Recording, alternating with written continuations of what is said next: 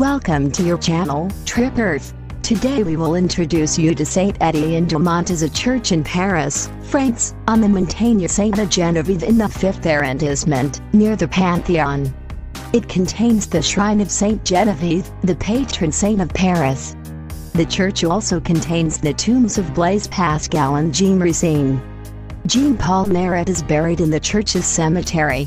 Thank you for watching. Don't forget to support us, subscribe to the channel, and hit the like button. Wait for us in the next video. I leave you with these wonderful scenery.